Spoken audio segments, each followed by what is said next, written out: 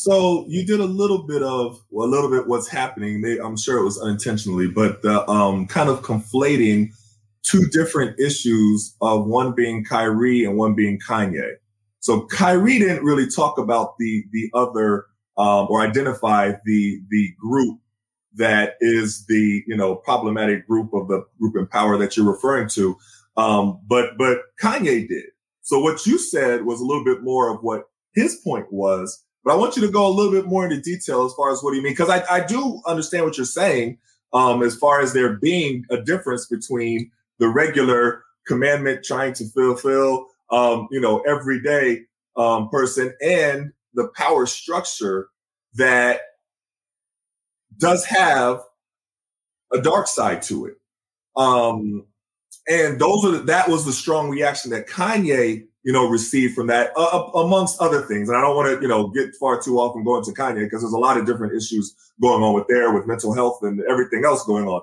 But but as far as the separation of the two, I want to go a little bit details of that if you could, because a lot of people don't understand that um, that distinction. Whew, two things. Um, one is that I just want to make it known today in America, the Jewish people are losing more Jews to assimilation than they did in that died in the Holocaust. Today in America, the Jewish people are losing more Jews to assimilation than they did in that died in the Holocaust. So that means more Jews are marrying out of Judaism, forgetting that they're even Jews a generation or two later, than the six million that perished in the Holocaust.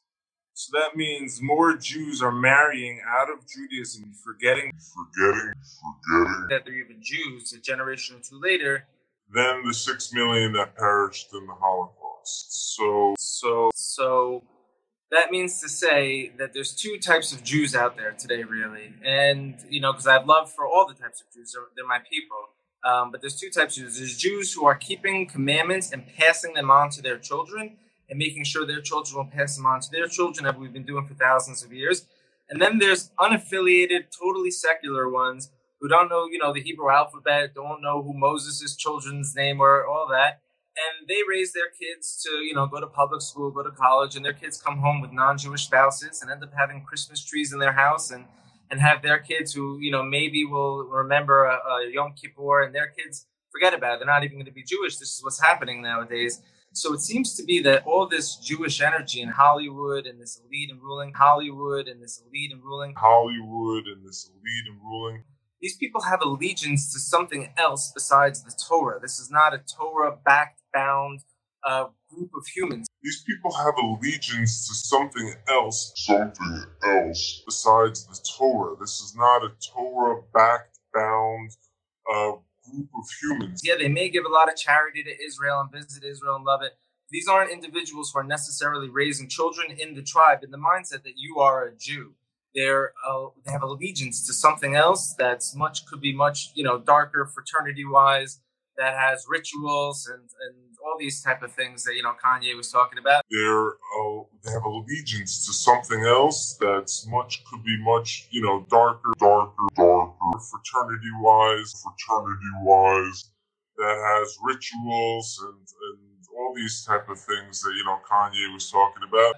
And that mm-hmm. shouldn't be uh, confused with the Jewish people's pursuit for a, a homeland and a redemption and an ingathering for the tribes. So they're two separate things.